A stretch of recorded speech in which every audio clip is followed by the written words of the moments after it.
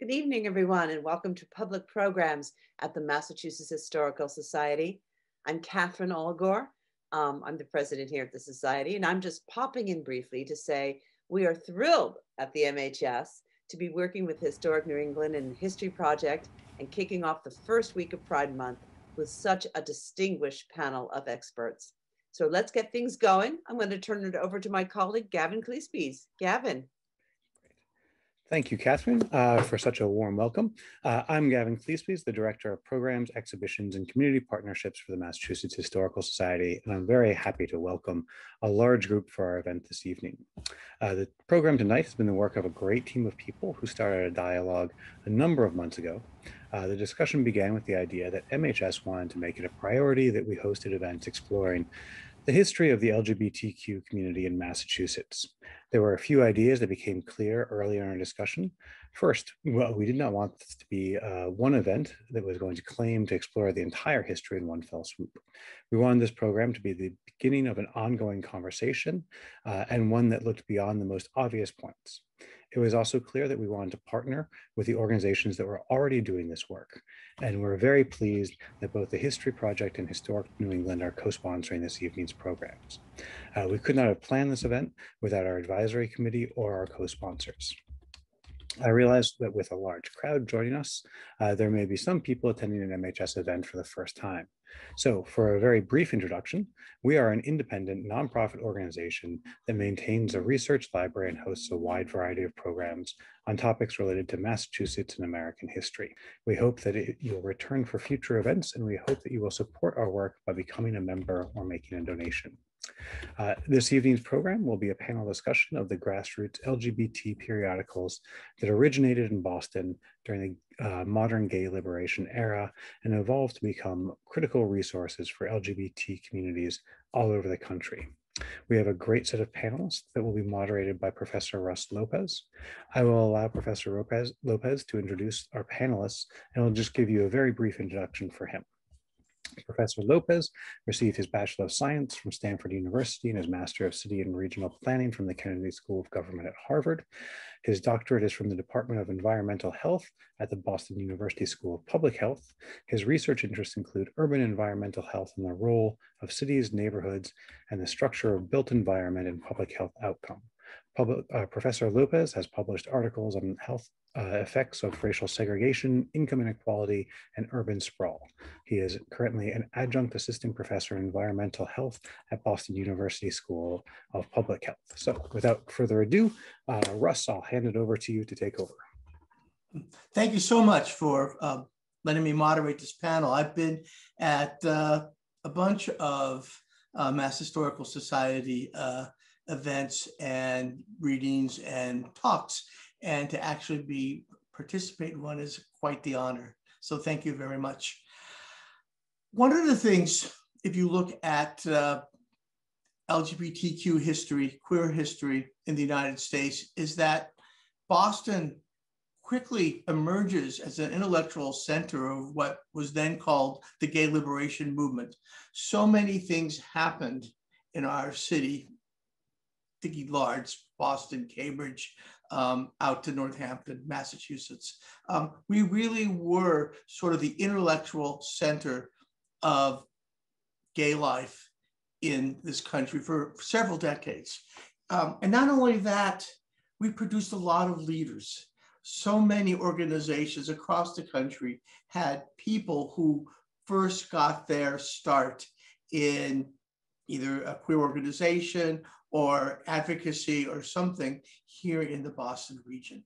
We also were the beginnings of theory, where so much of intersect, it, um, um, intersectionalism and other kinds of things that sort of propelled uh, the queer liberation movement, the queer movement from both the beginnings till today, all got to start here. And also, part of that, which I think is very important and what we're going to cover today, is that Boston was the center of so many important publications. Before the internet, if you wanted to know what other people were thinking, you had to subscribe or somehow get a hold of a newspaper, a magazine, a journal.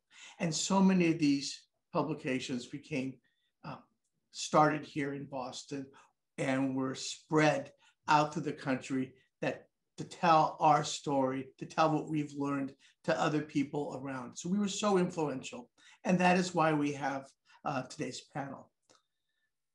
I'd like to begin um, with uh, Harvard professor Michael Bronski, who has been involved with gay liberation since 1969 and has contributed to a variety of publications, including FAGRAG, Gay Community News, In News Weekly, The Guide, and many others. He is the author of eight books, including the recent and very, very important A Queer History of the United States for Young People, published in 2019. Um, Michael? Thank you, Russ. Um, and thank you, everybody, for being here. Um, Russ gave a rundown of my history. I actually lived in New Jersey in 1969, was involved with the New York uh, Gay Gay Liberation Front, right, which was the first gay gay liberation front and moved up here in 71 so I to work and work with FAGRAG. So I've actually been involved with doing this along with FAGRAG, along with uh, working with Good Gay Poets and FAGRAG books and some other things. Um, I just want to do a, I want to do two two things, right? A little bit of background and sort of touching on what Russ has talked about already. Um, a, a, bit of the history about publishing and activism, right? I think if we look at it in the uh, in the 1970s, there were really three centers of queer politics around the country. One was Boston, New York, and San Francisco.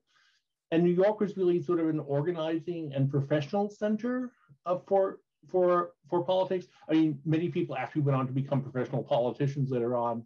You know, San Francisco was sort of hippie and druggy and sort of the fairies. Um, but Boston was, as Russ said, was where the theory happened, right? I'm sure Shane can talk about this as well, too um, it was a place that actually generated theory, right? Most often was theory that was put into political action. And this has always been true of Boston, right? From, from the abolition movement uh, to transcendentalists, Emerson and Thoreau, um, the, the universal, the, the Unitarians, um, even F.O. Matthiessen and literary theory came out here in the in, within the 40s, right? Um, and this is exactly what happened with, with in 1969, 1970, right? So the first magazine, I believe one of the first in the country that went national was Lavender Vision, which is a picture of. Remarkable, for, it was lesbians and gay men working together. And two of the main members were Sue Katz, who goes by the name of Katz, and Charlie Shively. Um, and Katz, both are famous for their theoretical pieces. Katz wrote uh, Smash Phallic Imperialism in 1970, and Charlie Shively wrote a long series for FAGRAG called Cocksucking as an Act of Revolution. These have remained foundational texts for 50 years. Um, Lavender Vision broke up after two issues. FAGRAG grew out of it as well as a women's magazine. FAGRAG lasted for, and I was involved with most of it for 20 years and over 47 issues, right? Um, and Gay Community News started in 1973, and it was, and Amy will talk about this, the first national newspaper that was published and read by lesbians and gay men together. So Boston was the first for these, right? And GCN was forthright, forthrightly progressive in its politics and covered news and culture that really set a standard for all the other national papers. And I really think that the two main outcomes of gay community news, right, was that uh, for over two decades, it was relentless in critiquing both mainstream and gay culture. And this was particularly important, right? As gay culture became more and more mainstream, um, there was plenty to criticize in it, uh, particularly as, as what we might call assimilation happened. Um, and then, as Russ also said, right, over the years, it produced a re remarkable number of people who became national political leaders who within the academy um, and public intellectuals. Um, so this is really this really fits into the history of Boston, right? Not unlike Thoreau and Emerson and people coming out of the Transcendentalists and really becoming national figures. Um, so I do think that when we're looking at all this, and we really have to think about right the the impact around the rest of the country. Um, and but I'm thinking particularly of FAGRAG, which I was completely involved with. Right, FAGRAG was really looked at throughout oh, the first 10 years up until the no up until the mid 80s as as the paper that people went to to really think through the larger issues of of, of class of race of sexism um, of of, of gender. We are probably the first pub, one of the first publications to have a picture of a man in uh, of a man who lived in drag on the cover in the early 70s. It was Larry Anderson. Um, so I'm good. I want to make one other point and we move on to Shane.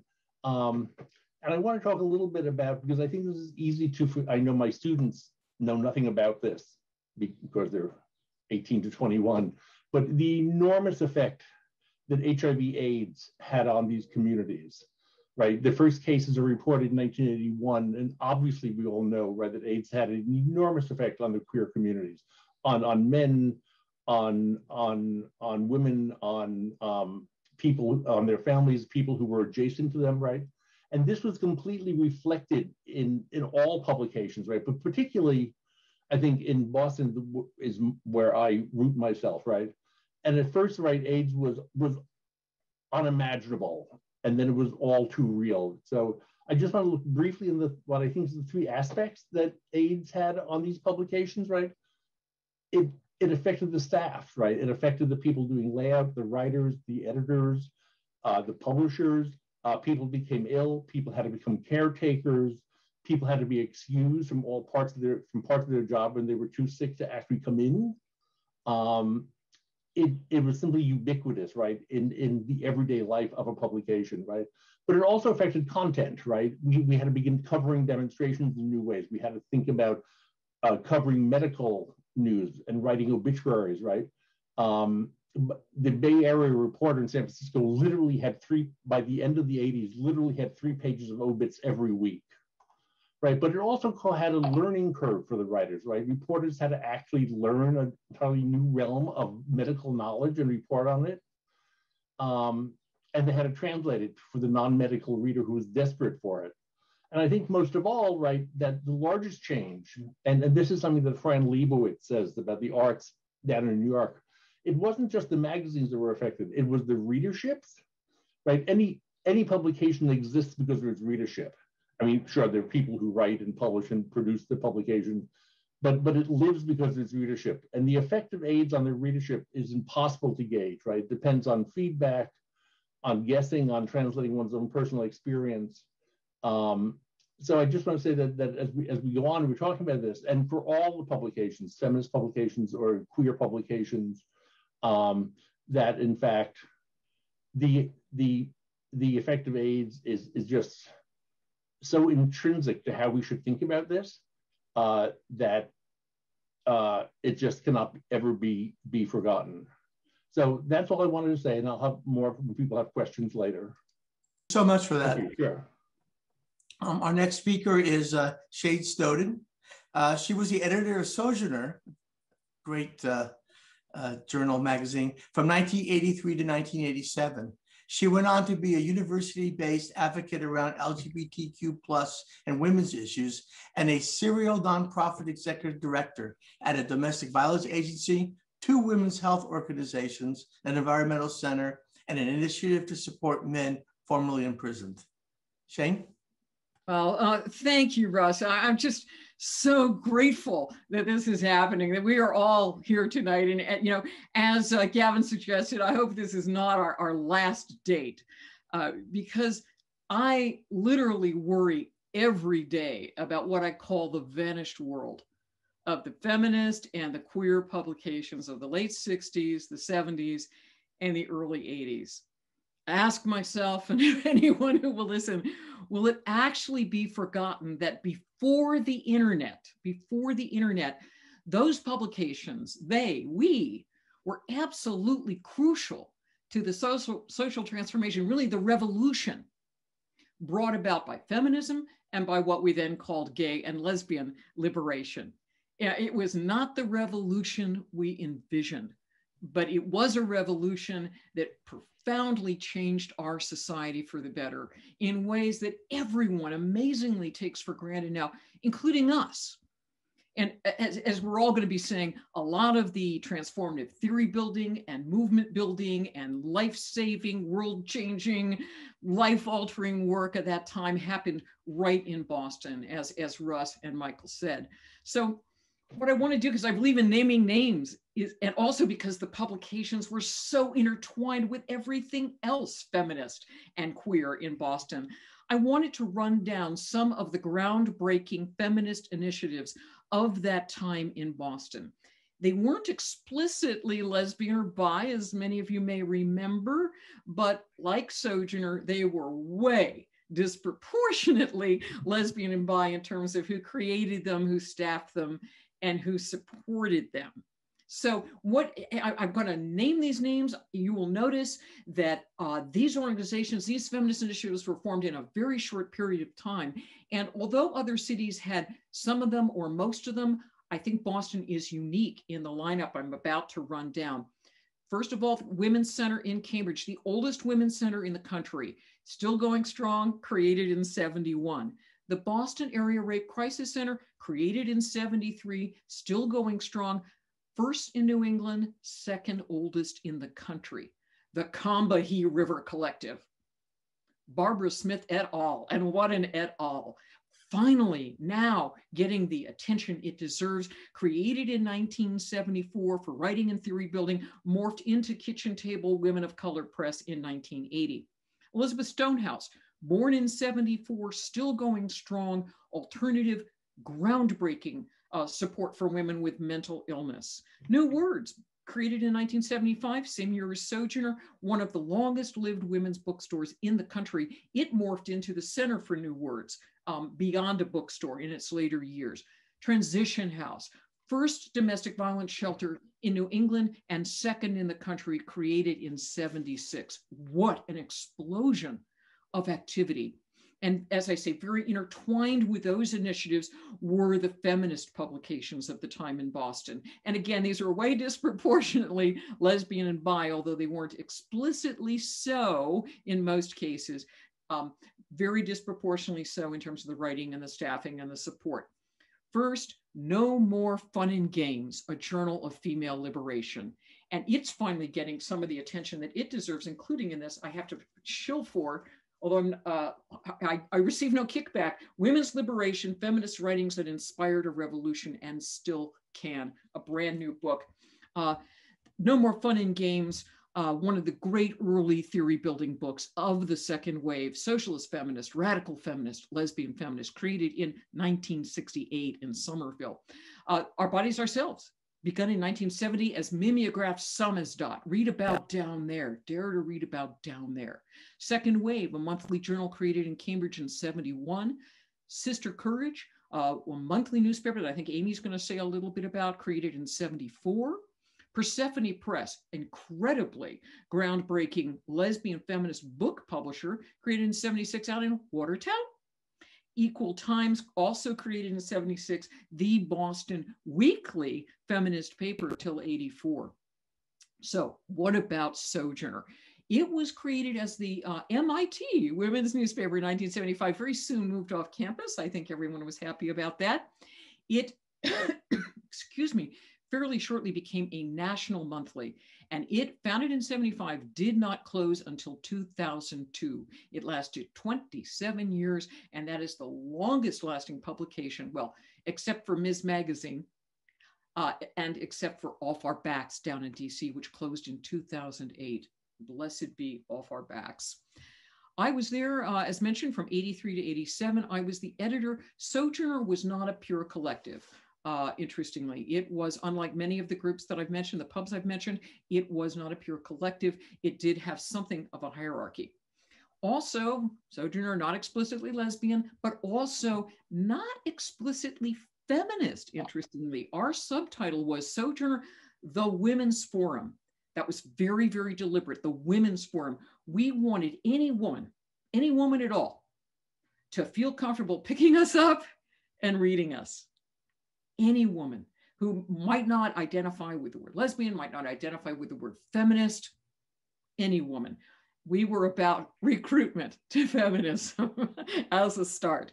How did we go about that? What was in Sojourner? What did we care about, even if we couldn't achieve it every every second? We were more about community building and movement building than theory building. So we did have essays by the big thinkers, some of them famous, Audre Lorde, June Jordan, Pat Parker, Adrienne, uh, Adrienne Rich, Grace Paley, Cherríe Moraga, Gloria Anzaldúa, but a lot of our content was writing grounded in women's personal experiences. We took the personal as political very seriously. A lot of these women, not only you know, I never um, been you know heard of before, but they had never written before, and they just wrote about bisexuality, cancer, immigration, internment during World War II, sexual abuse, mental illness, class oppression, life in poverty, imprisonment, choosing singlehood, being in a Palestinian refugee camp, being at the Seneca Peace Encampment, being at the first UN Women's Conference in Kenya. That meant that we supported a lot of women in learning how to write. And if that wasn't possible, they didn't feel like it was possible, we interviewed them. Beyond all of this, we tried to do it all in our sections. We highlighted feminist books, women's music, other women's art. Oh, it was really labor intensive. We ran fiction and poetry. We got hundreds of submissions every month and we published them, very labor intensive.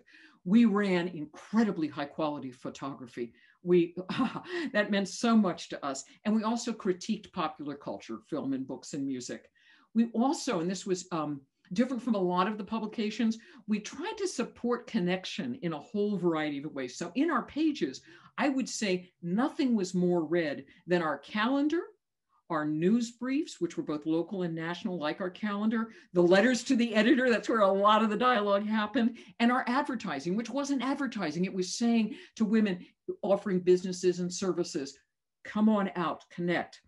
In real life, we held big public events. We were a, a place where you could physically meet other women by volunteering for the paper, and we distributed SOJ free um, around the country and in Boston.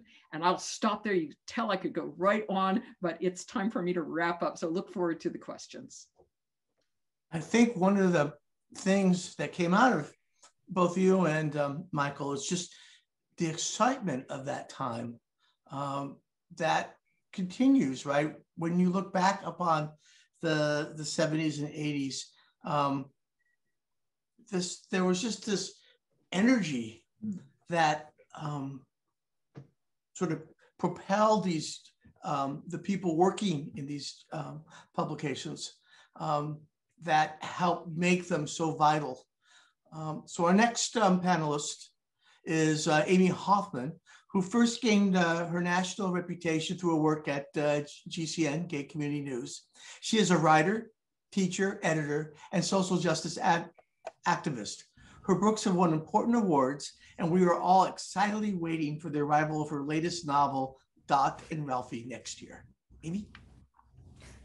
Thank you so much, Russ. And um, thank you, everyone on this panel. It's wonderful to hear Michael's and Shane's um, descriptions of GCN and Sojourner, and I have so much to say about it.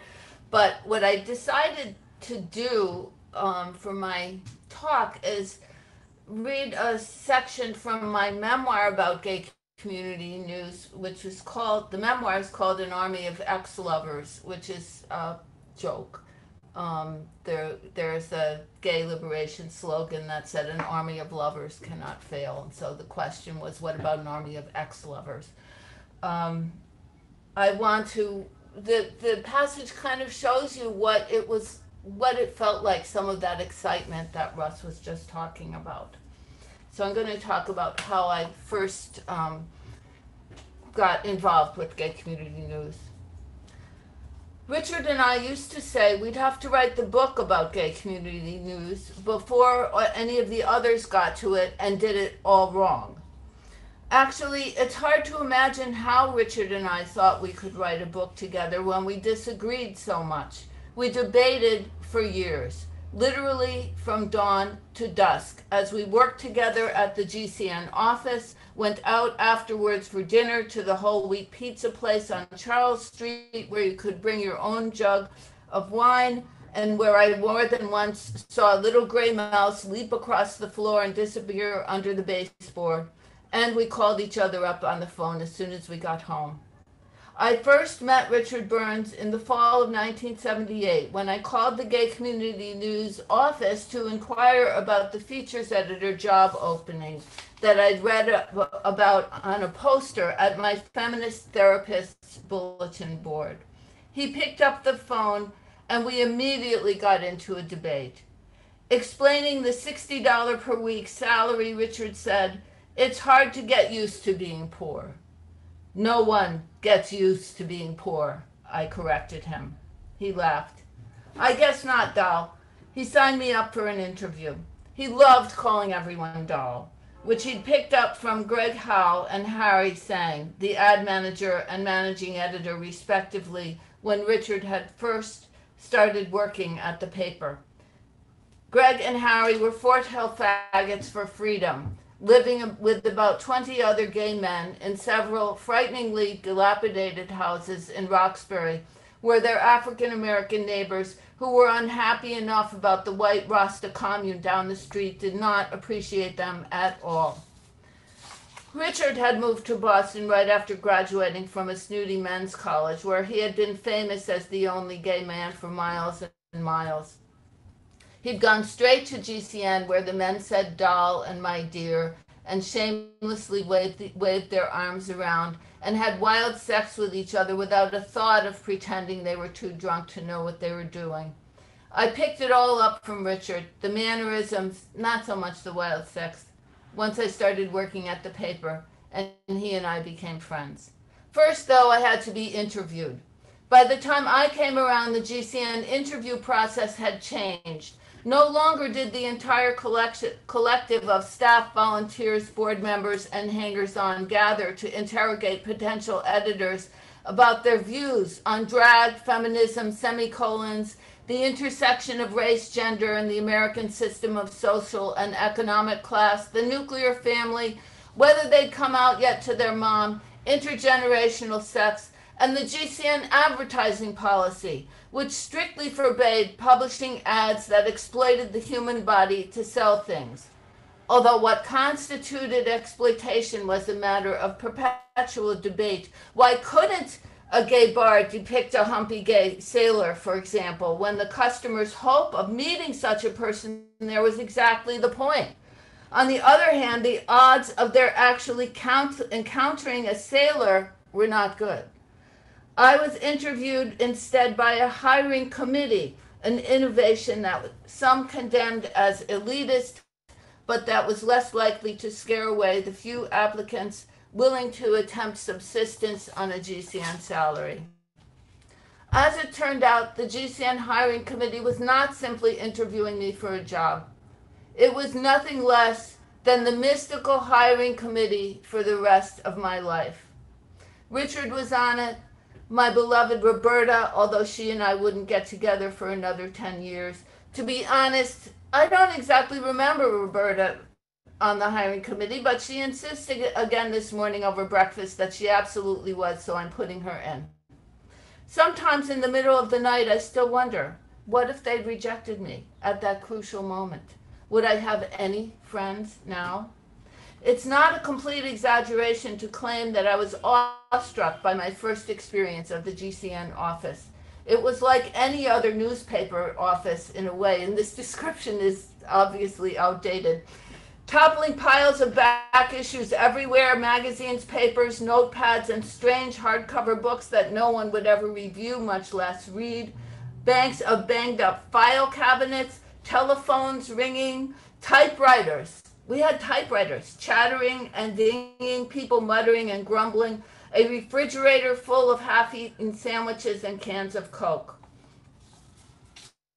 The thing that got to me was the newspapers on the walls. Every issue of GCN, GCN had ever published was displayed in rows, starting at the ceiling and extending around the entire perimeter of the room. Who knows whose idea it has had originally been? Probably it just happened. The sudden inspiration of a volunteer with a staple gun in one hand and a newspaper in the other. The cumulative effect was impressive. Once I started working there, I would feel newly inspired each morning when I glanced around the office and saw all that we had accomplished over the years. That is, when I didn't feel completely disheartened. Photos and drawings were expensive, and budget aside, it was just hard to come up with something striking and relevant week after week. And covers were so, the sites of some of our worst mistakes ugly, trivial, obnoxious. I doubt we ever published one that anyone was completely satisfied with. Maybe it was the cover display that had given rise to a culture of sticking all kinds of things on the walls. Every person who entered the office eventually participated in the unintentional, unintentional collective creation of a collage of clippings, doodles, quotes, snapshots, to do lists, postcards, cartoons, typeset articles for the next issue, hate mail, love letters, long lost telephone numbers, political leaflets, placards from demonstrations, photos from magazines, gay and straight, of buff guys in various postures, all without shirts, and an Elaine Noble for state rep styrofoam boater hat with red, white, and blue band. Things were constantly being added, and no one ever bothered to take anything down, so that below the orderly rows of covers was a chaos of layers upon layers of an ever evolving artwork of the people. To enter the office, you came up a steep flight of stairs from the street and through the open door on your left, and there you were, right in the middle of it, with bullet holes in the windows in front of you and the long light tables of the art department in back. Behind the art department, separate from the GCN office by a partition, was the office of FAGRAG, an anarchist collective vaguely continu- contiguous with the Fort Hill Faggots of Freedom. At unpredictable intervals, they would publish a journal that had somehow come to the attention of William Loeb, the infamously conservative publisher of the Manchester, New Hampshire Union Leader, who had termed it the most loathsome publication in the English language, a motto that the fagraggers gleefully pasted all over their masthead. The trick question at my interview was about the art on the latest Fag Rag cover. Just, you know, did I like it? The Fagraggers had submitted it to, as the illustration for an ad they were placing in GCN and were at that very moment reveling in the predictable uproar among their landlords about whether the image was beautiful, vulgar, exploitative, oppressive to women, or a proud expression of gay male sexuality well, it wouldn't sell me a magazine, I offered brightly. This response was apparently equivocal enough to appease most of the committee, and by the time I left, we were all feeling so pleased with each other that when I got you back to my apartment, my phone was already ringing. It was Richard offering me the job. And that's enough of that for now. Thank you. Thank you so much. Um, the only thing I would say is that um, for my first visit to the GCN offices, you actually kind of downplayed how busyness. of Oh, yeah. Well, also, I should say one more thing. I- I don't want to take up too much time, but I've never given a talk about GCN without someone coming up to me and telling me that picking up a copy of Gay Community News was one of their first acts of coming out. It was just incredibly personally and politically important. I think that's something that really binds together all these publications. Uh, picking up these journals, these magazines, was an act of self um, propelling into uh, a new world, right? You it was often where people first came out or first acknowledged themselves to be who they truly were. Our final speaker is uh, Dallas Denny. Uh, Dallas is renowned for her work on advocacy, policy issues, and health practices involving transsexual and transgender people. A prolific author and a dedicated editor, she was one of many founders of the, of the Southern Comfort and Peachtree Transgender Conferences, and since 1991 has been a principal of the long-running Fantasia Fair Transgender Week Conference in Provincetown. Dallas? Hi, yes. Um, thank you very much, um, Historical Society, for inviting me to this panel. I'm you know, pleased to be here. Um, I was raised in the South, and support was pretty much non existent down there. There were pockets of there were places where people could go, but you couldn't find out where they were. The only, as I was growing up, as I was in my early teens, the only identifiable source of support was an organization for heterosexual crossdressers, and its founder, Virginia Prince, was very adamant that there were no gays and no transsexuals, meaning people who were interested in changing their sex in the group. So I was ineligible for for membership and I could find no information. In the late 70s, I took myself when I learned about it to the gender identity program at Vanderbilt University in Nashville, where I was living, and applied for for help with with having a, a sex reassignment, and was told I was not dysfunctional enough to qualify as transsexual, which was which was a shock. But that was the medical definition at the time. Um, being transgender was highly medicalized, and their picture of people like me were that we were dysfunctional in almost every conceivable way. So I was looking for information, I was looking for support, and I wish to God I had been in Boston because things were happening in Boston that, that just weren't happening in the South. Now, my Boston connection began when I came across an issue of Transgender Tapestry Journal, which was then called TVTS Tapestry Journal.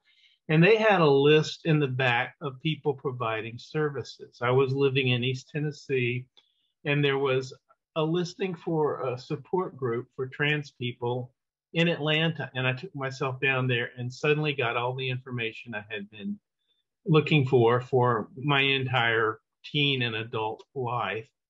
And that facilitated my my transition. And the the group I went to drafted me to be their director, and that's how I got involved in leadership. So had it not been for that copy of that Boston-based magazine, I don't know if I wouldn't still still be. Of course, things have changed, but then finding anything was just almost a miracle. Um, my other connection with Boston is the Fantasia Fair event. That is a week long event, originally considered to be for transsexuals, but for all transgender people that has been running in Provincetown since 1975. It came about because of existing conditions in in in uh, existing support groups in Boston, and they wanted a place to come together. and And three people, two people financed it, and one ran it. And the first Fantasia Fair was held in 1975, and the attendees couldn't believe they were walking around with, without getting arrested. Um, Fantasia Fair has continued and I have been a principal in it since 1991. And, and, and so that's one of my Boston connections. The other one was in Atlanta, I founded a, a, a nonprofit 501c3 organization called American Gender Education Service that ran through 1998. And shortly after that, I was um, contacted by a board member of IFGNS to edit um, the International Foundation for Gender Education's uh, magazine Tapestry, the very one that I had chanced across that changed my life. And I said yes, and I edited Tapestry um, for a period of almost 10 years. Um, that's my final uh, Boston connection, but just the energy that was going on in Boston. And I started going up to Boston in 1992, and I've been up every year since for at least a week. Um, really was affecting people outside of the immediate area and not just trans people, but you know, lesbian and gay people and bisexual people as well. So um, I wish I could have been a part earlier. I was ready. I just I just could not find community for that many years. Um, all of our panelists, um, really a wonderful, wonderful uh, presentations that I hope uh, for those of you who are too young or didn't live there or who lived through all this um, can use to sort of remember the excitement and the intellectual ferment and just the way that we used to uh, communicate with each other and how we came about to how we are today. So we're going to open up to questions. Um, please use the uh, the function there to uh, feed your things to the moderators. I was going to um, start with one, if you don't mind. Um, I guess it's for any of the any of um, the panelists. Um, what would you tell your former selves from those days, knowing what you know today? I mean, the benefit of um, not not to be ageist, but the benefit of several decades of experience and experiences that we've had since those uh, heady times. I don't know who, which one of you like to go first? I will. This is Dallas. Um, had I had any idea what was going on in San Francisco or New York or Boston, other than a vague notion that those were places where trans people sometimes gathered, I would have made a made a visit to Boston, and I would have found the centering probably when I was 15 or 16 years old that it took me until I was 39 years old to find.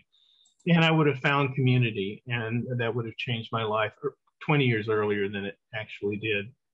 Uh, like a typical feminist, lesbian feminist of the day, I, there are several things that I would tell my my younger self. Um, as in the context of Sojourner, we occasionally made compromises that I regret. We did try to be all things to all women. So, for example, we were late to pick up Dykes to watch out for. That's something that I've always remembered and regretted. GCN picked it up.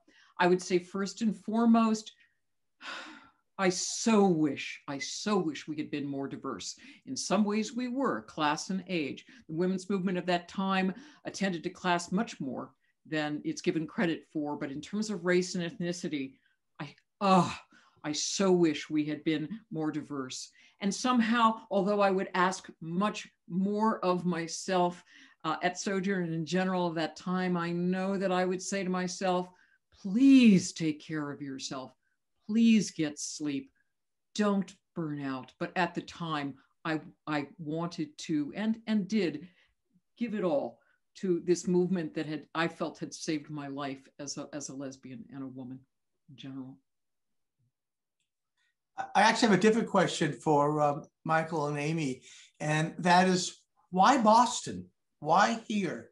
Why did Boston become the sort of the intellectual center of um, the LGBTQ uh, movement, if not nationally, almost even internationally? Sure, I can. I can. I'm sure Amy has a lot to say about this because we've actually spoken about it for the last four decades.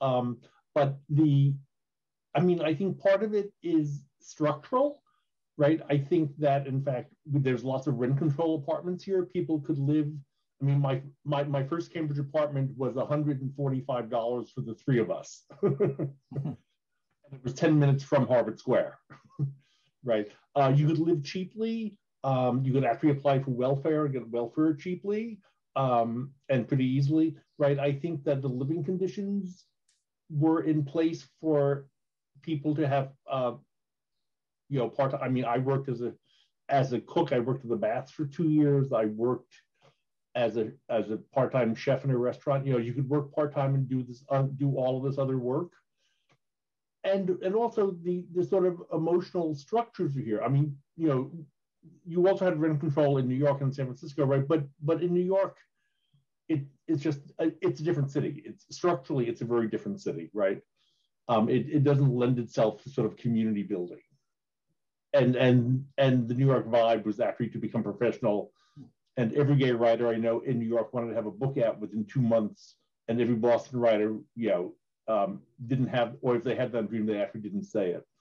But also, there was there was a community here that that that you didn't find in, other, in like other places, right? San Francisco, even though there are many people living there who were stable there, they were all over the place, right? And Boston really had a community that that was literally stable. I mean, I, I still have friends that I made in 1971. I mean, and and many many have died, but I still the ones that are living we're still friends. Amy, you want to follow up on that? Um, yeah, I think you're absolutely right about a lot of that, and I noticed in the Q and A um, chat that someone said, "Why don't we have these publications now?" And I think that you're pointing to some of the economics of the early 70s has a lot to do with that. Not to mention, you know, that we have lots of different ways of communicating now. I mean, I've seen articles in the New York Times and the Boston Globe about um, gay life and gay culture and queer life and queer culture that would have appeared in GCN. I mean, there was, it's hard to describe now how completely out of the mainstream we were. And to the, I mean, there was absolutely no, you weren't allowed to use, well, the people always say this, it's true, that you were not allowed to use the word homosexual, uh, to the, use the word gay in a headline in the New York Times until 1987. Um, so you could, there was, the mainstream media didn't even have the language to talk about us. Um, and, but I think, so that, I suppose one of the things that was special about Boston was the economics, the fact that it's a relatively small city with lots of interconnections among people, um, the fact that there are a lot of colleges and universities here, so there are a lot of young people. There's a, a very active cultural life of theater and books and music. Um, I think all of that contributed to um, why Boston was so political and producing so much culture, so much stuff. So one of our next question comes actually from one of the people in the chat. Um, what was the relationship between the Combahee River Collective and the various publications you worked on? Or even more broadly, what were the inspirations? Who were, who were your role models when you all were doing this kind of work? Can I, can I, I, oh. oh. I, I just wanted to say um, something about Combahee River and um, GCN. Mm -hmm. Because one of the initiating um, impulses for the formation of the Combahee River Collective was a series of murders in Boston of black women. Mm -hmm. And Combahee came together, organized a lot of um, demonstrations and brought this to the attention. The police in Boston would not even see this these murders as related. Um, and, and, at first, and there were, was barely any coverage in the Globe or the Herald at the time of, of the fact that these women were being killed. So I and GCN covered that from the beginning um, was very active in covering it. So we were really bound up, I think, in the very beginnings of the formation of Combahee River Collective. And Shane Sojourner was also part of that.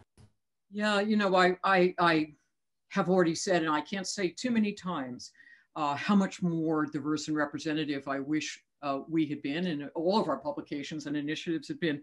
But as it happens, and I think this is partly a Boston thing, there were nine members of the Combahee River Collective, and um, two of them were on the board and staff of Sojourner. Um, I just remember this. I wrote these down, Demita and Akasha, Demita Frazier and Akasha Hull.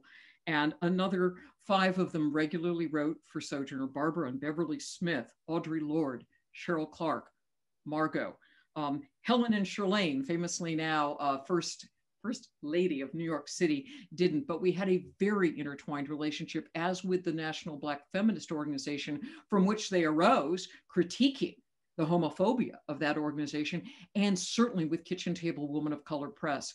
And again, there's this symbiotic relationship between Sojourner and all the other feminist initiatives in which they gave benefits, they read it new words, their writing was in Sojourner, and they personally inspired so much activism and so many activists in the Boston area. So we had a very uh, intertwined relationship. Part of that made possible, as others have said, by the compactness of the Boston area. We we did we saw a lot of each other.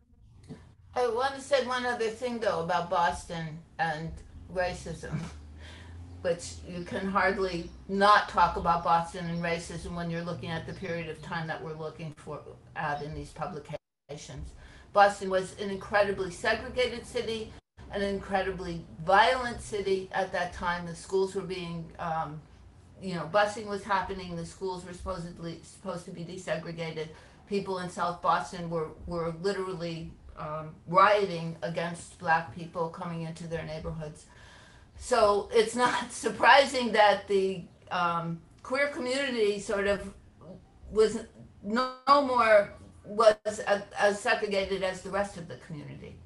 And um, it's not surprising, Shane, that there were not that you know Sojourner did not have more active participation by people of color um, because you know the communities were operating quite separately, um, except maybe in Christ, as you know, as we were talking about Combahee River. Um, there were certainly places where we all came together, but I think it's important to see this context that we were working in as well. It's one of the really incredibly negative and insular things about Boston that I disliked when I moved here. Um, so I guess sort of looking at that broader, um, do you have any idea what were the readership numbers and to what extent your um, people who read your journals and your magazines uh, were they local to Boston or were they really spread across the country? I can, I can um, go ahead. Oh, just to give a very quick rundown, it, I, you know, it depends on what year are we talking about, Russ. When I arrived at Sojourner in 83, it was down to 12 pages. It was printing several hundred copies. It had become a local paper. Four years later, four years later in 87, we had um, between 40 and 60,000 circulation. We're printing 10,000 copies, definitely a national publication and remained that way through 2002. The uh, GCN always had ambitions to be a national publication. We thought of ourselves that way, at least starting in the late 70s. Um, our circulation was always tiny, but we felt like our um, influence was much larger than our circulation. I don't think our, our circulation numbers were ever more than 5,000, would you say, Michael? Probably 5,000, right? But I think that what if if you uh, what what newspapers and magazines do, that right, that they have a print number, then they have a readership number. Right. We always said that number is always like five times the print number, right? And I right. do that with gay publications, and I, I know this is true of FAGRAG, right? When I was uh, when Charlie Shively, who was wrote cocksucking as, as an active revolution in FAGRAG, and um, you know, when when he when he became ill and I was his guardian, I I donated all of his papers to to Yale, and he had like 147 boxes.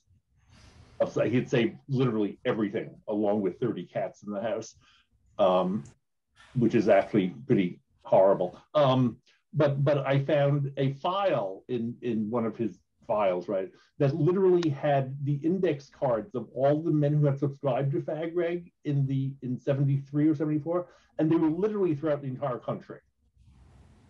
Uh, in Montana, in Idaho, right? And they were on little those little index cards written in pen. well, that's how we did our distribution, and I think it's worth saying that this is before computers. Even photocopy machines were rare um, as I read, we were typing things on typewriters in order to mail out the publications. And Russ, I think you were involved in this. Um, mm-hmm. every week at GCN, people would come together to stuff envelopes. They were called the Friday folders because we used to fold them and fold the magazine and stuff it into envelopes. It had to be in an envelope because you could not mail something that said gay on the cover to people without a plain brown wrapper and yeah, same with FAGRAG.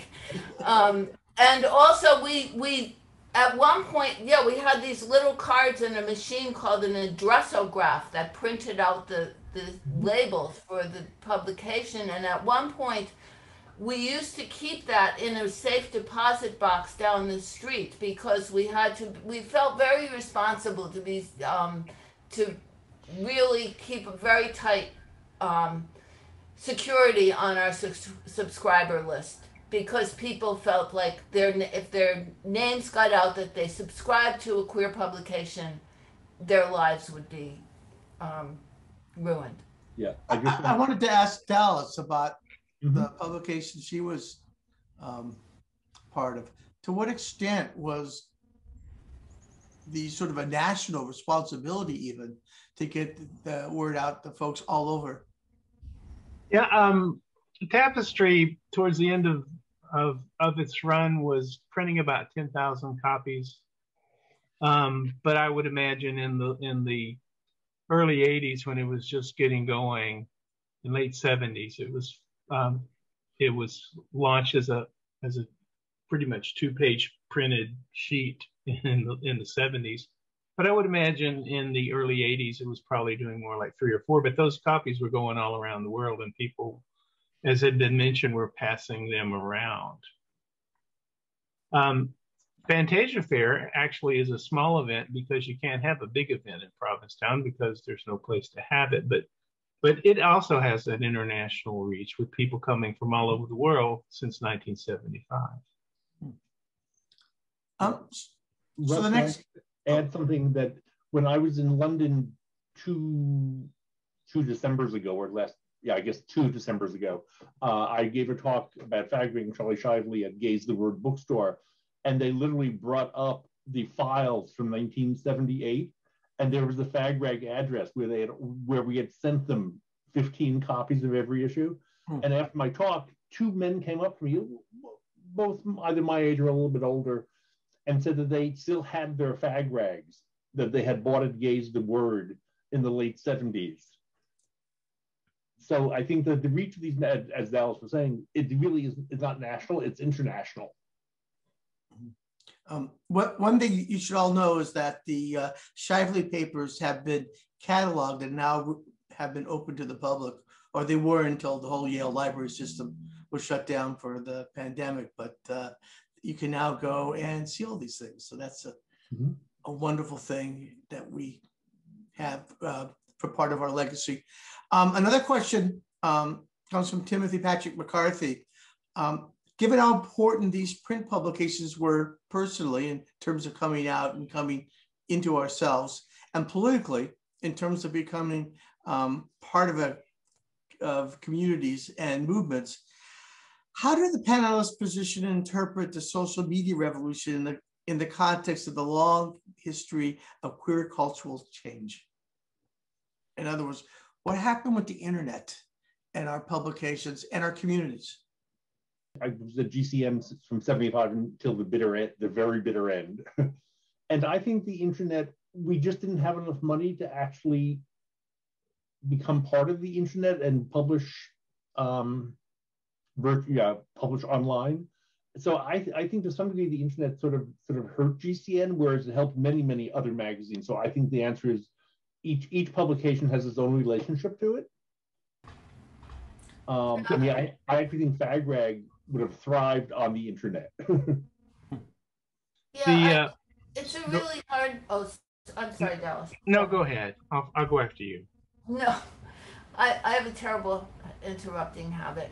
Um, I, it's really hard to generalize, as Michael was saying. I think, um, you know, we the the whole the the need for the publications changed. I mean, GCN was a newspaper, and we we covered events and we published news articles as well as cultural coverage and debates. And the need for a newspaper was not the same. You could find out that Harvey Milk was assassinated if something like that happened now. You could find out in the Times. You could not find out those things, even horrendous major things, um, when in the 70s when, when we're talking about. It's like I said before, it's hard to imagine how completely marginal we were so I think, you know, there's a lot of different factors um, that, of, you know, the, the community is structured differently now, the needs are different, um, the finances are different, the economy is different. Um, it's really hard to make a general statement about that. Uh, com- coming on from um, um, what you just said about marginalization, we have a, a unfortunately, it's going to have to be our last question. But um, some of our panelists were active at a time when it was sometimes dangerous to be known as an out journalist, an activist, or even an out person. How, how did you guys, how did you folks um, handle that fear and the danger of the time? Uh, I just want to say, GCN was, I mentioned in my piece that there were bullet holes in the front windows. Um, our office was vandalized many times over the years, and it was finally, and it was burned down in 1970, in 1982. Um, so, yeah, we were quite clearly under attack. Um, there were also staff members, I mean, even before AIDS wreaked all kinds of havoc and devastation and on, on us. Um, people, we had staff members who, who killed themselves, who were murdered. Um, there was a, a, tremendous atmosphere of, of violence and destruction in a lot of ways against the gay community. Um, I think what helped was the solidarity that we felt with each other in the community within it. Um, that we cared about each other, that the office even though it had been vandalized, really felt like a safe space. People would just come there to hang out. It wasn't only a news a newspaper. Um, people, some people came every day to eat lunch there. People would just come to be there and to be around other people in the community. And when any big crisis in the community happened, that was one of the places we we gathered. As um, uh, not explicitly lesbian or bi publication, Sojourner had fewer concerns about this, course, than GCN at all. But I do want to say we worried a lot about our readers from this perspective because we distributed free, because we had so many copies going out to so many people and so wanted to reach women everywhere they were. Someone asked in the question box very, you know, very understandably, why didn't you run dykes to watch out for? And you know why that was? We were scared that if a paper fell open to that, it's much easier for someone who wishes ill for the woman who's gotten that copy of Sojourner to see a cartoon with the word dykes than to deal with, you know, an, you know, an article with a headline and small print about various, you know, lesbian feminist thoughts and feelings. It was because of our readers' safety, because we had so many different readers um, that we didn't do that. And we did worry, uh, we, we knew that even getting Sojourner was a revolutionary um, for good or for ill in terms of personal safety, a revolutionary act for women. I wanted to say that trans people are, are sort of running point on this because many are visibly distinguishable and they can't blend in. And so we continue to be murdered at, especially trans women at, at high rates. And uh, I wanted also to say a word about the last question, which was that in the mid 90s, I saw what was coming with the internet, and I predicted that the what I call brick and mortar nonprofits were going to be in real trouble, and it's just not economically feasible in most cases to run a print magazine these days, and that's a shame because um, they were wonderful, and I was proud to be a part of two of them, and um, thank goodness there are places that are preserving those, and so our history is. Mm-hmm is is secure in that regard. Yeah. Yeah. I think I mean Russ, can I just say something very quickly? Sure. I, I think that the the um the the enormous influence of all these magazines on mainstream culture cannot be underestimated. Like Amy pointed out that in fact and Amy said you couldn't say gay in the headline in the Times. You actually couldn't say it in the middle of a story either. You had to say homosexual unless you were saying gay Activists alliance, right? But the other day, I think it was last Thursday, maybe or Saturday, um, I looked at my New York Times site, which I look at sort of every few hours, and under the obits, there were three obits listed of openly lesbian women, which was Rusty Warren, the the the, the dirty comedian, that was a lesbian, um, Alix Dobkin, the the the foremother of all of women's music, and Kay. I never know has Kay Lucen, is that how you say her name, Shane? Kate, Kate Tobin, she's sometimes called. She was Barbara Greer's partner, right? Um, on the, right on the New York Times page, three of them, and each of them had extensive obits, right? And that would not have happened without Sojourner, without Gay Community News, without Tapestry, without Fag Rag, without any of this. I, I would just quickly point out that interestingly, yes, this huge shift to the internet with gifts, with challenges, all the rest, the journals, some of the, the queer journals and feminist journals, they have persisted partly because it, uh, it they publish articles too long don't read for the internet because it is somewhat easier in production terms, although not easy to publish less frequently. We have, um, I, I think, joining us, the editor and publisher of Sinister Wisdom, one of the great old publications. Right, uh, right. It was in Massachusetts for a while. Adrienne Rich and Michelle Cliff edited it out in Western Massachusetts. Um, those do persist, and I want to make sure you know they're part of our conversation also. The journals that are quarterly or even biannual. Yeah. So I'm going to jump in because Mass Historical told us that we needed to finish by 6:30, and it's 6:34. And I hate to be the one that gets to do this after listening to this wonderful conversation for the last hour. Um, I'm Joan Ilacqua, for those of you who don't recognize my floating head from all of these Zooms. I'm the executive director of the History Project, and it has absolutely been my pleasure to have been part of planning this panel, to have uh, met with these speakers, to have met with Mass Historical Society and the wonderful folks working there. And I just want to say thank you all so much for tonight. Uh, we will be sending all of the questions to the panelists. So that if there are some answers that we'd like to check in on or people that we mm-hmm. want to check on, we can do that. Um, and just based on these comments, I'm going to have to go back to the History Project Events and Outreach Committee. And we're going to have to do something like this again soon because it has just been so wonderful to hear from all of you. Uh, the archivist in me wants me to let everyone in the audience know several of these publications are available either online or in repositories around the country. Schlesinger has Sojourner. Uh, History Project has copies of FAGRAG and some of Charlie Shively's papers. Uh, Northeastern University has made Gay Community News digitized and it is online. Um, and the Digital Transgender Archive has many copies of Tapestry. I'm not sure if it's a full run, but they've pulled them from repositories all around the country and the world. So they still exist. They're still out there. They're still available to you. And when the History Project can invite folks back into our archives in Boston, you can come visit us to see some of them as well.